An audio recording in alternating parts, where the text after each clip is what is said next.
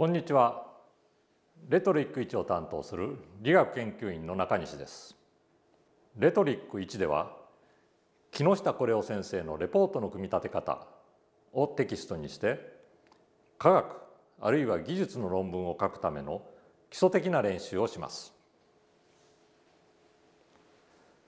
まず科学技術論文は正確で分かりやすくなければいけません。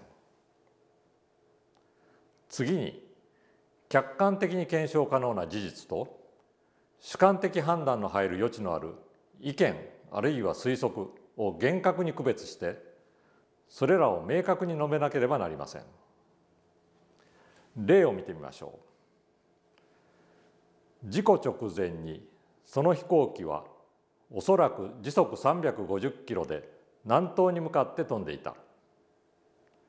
ここでおそらくは述べられていることが検証可能な事実でなく推測であることを示しています。